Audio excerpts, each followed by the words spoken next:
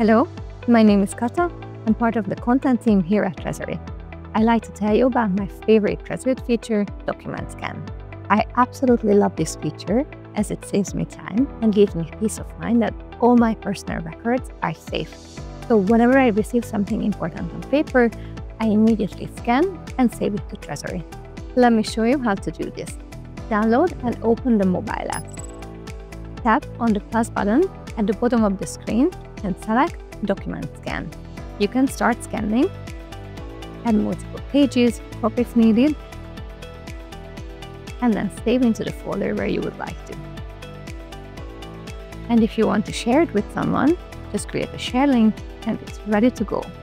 I find this really convenient that I don't need to switch between applications and all happens in a safe end-to-end encrypted environment. Just remember, we encrypt everything to know nothing.